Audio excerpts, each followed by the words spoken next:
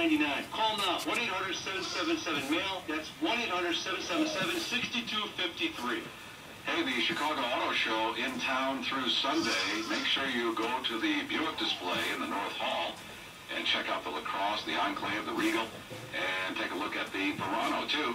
That's all new. And your car, Here it comes. after this winter, maybe it's done. It's coming. Maybe it's time for a new car. Check You out see those that on there? Buicks. Mm-hmm. Good time to do that too. It's a good time to experience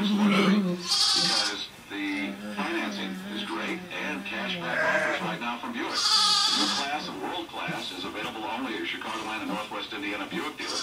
Visit so. BuickDrive.com for more information.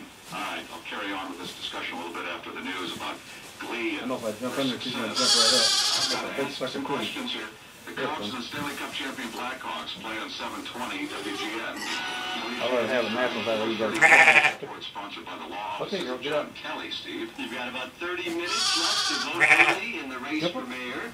About There she goes. Chicagoans 85,000 by the time it's over. That's nothing compared to the 2008 presidential race when more than 260 people voted early in the city of Chicago.